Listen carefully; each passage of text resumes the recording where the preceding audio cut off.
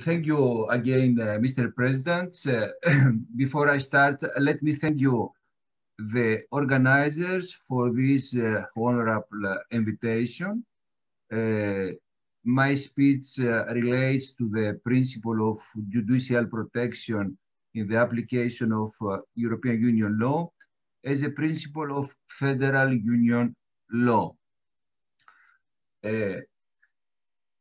As an introduction, I would like to emphasize uh, some points uh, by saying that uh, the principle of uh, judicial protection uh, at the beginning uh, has been established by using the institutional requirements of the EU legal order. afterwards, the Uh, Court of Justice uh, uh, used uh, the well-known technique of uh, creating fundamental of um, respecting fundamental rights through the technique of the general principles of EU law. And recently, I would uh, emphasize the linkage between the Uh, principle of judicial protection and uh, the rule of law.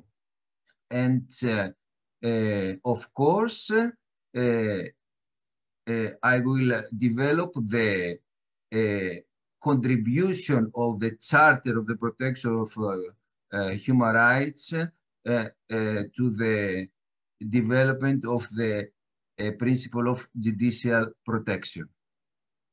So uh, first of all, it's true that uh, the judicial protection has been used as a principle of the European Court of Justice in order to secure the implementation of the EU law.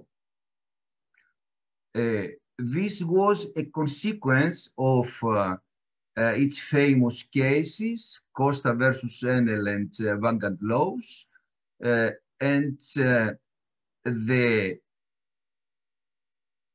a specific case regarding uh, these uh, leakings was the Simmenthal 1978, where the Court of Justice said that uh, uh it's uh, the duty of the national courts to contribute to the efficient implementation of the EU law.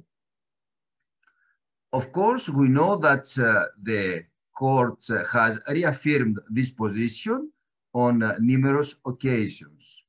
Uh, this is a principle uh, used many times and uh, until today, uh, it contributes to the efficient implementation of the EU law as a concrete legal basis, uh, the uh, Court of Justice used the principle of cooperation. We know that uh, this principle of cooperations contributed a lot to the efficient implementation of the EU law. Uh, the Court of Justice uh, uh, used this principle and imposed a lot of obligations to the member states.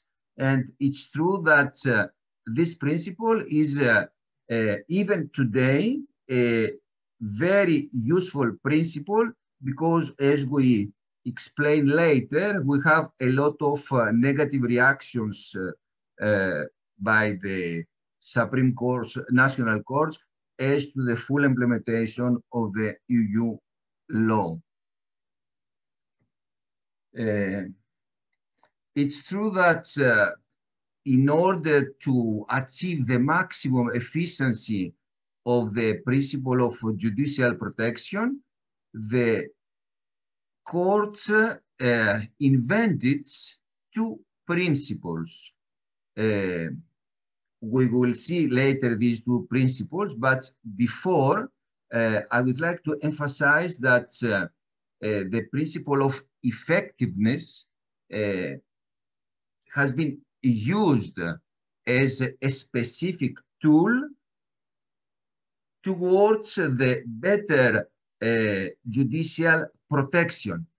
But uh, uh, given the fact that uh, the EU legal order recognizes the constitutional autonomy of the member states, and I mean by that uh, a lot of uh, basic principles of uh, national legal orders, uh, a specific dilemma uh, uh, was presented in relation to the if the efficient implementation of the EU law violates some basic principles, such as the principle of uh, legal certainty. Uh, before, uh, uh before we analyze the conciliation of these apparently opposite principles, it's useful to emphasize that the Court of Justice uh, said that national courts uh, are obliged to set aside every national rule which is incompatible with the requirements of the EU law. Uh, but uh, uh, these uh, uh, demands as to the inapplicability of the national rule which is incompatible with EU law uh, as a not normal solution gave the opportunity to the courts to institutionalize the obligation of the national courts to uh, interpret national law with the demands of the EU rules. Uh, so before a national judge uh, sets aside uh, a national rule, uh, it has the power to interpret the national rule, uh, if of course uh, this is possible, in uh, a such manner that it uh, uh, respects the requirements of the EU rules. And it's interesting to underline that this obligation of uh, uh, such interpretation has been considered as an integral part of the treaty's system.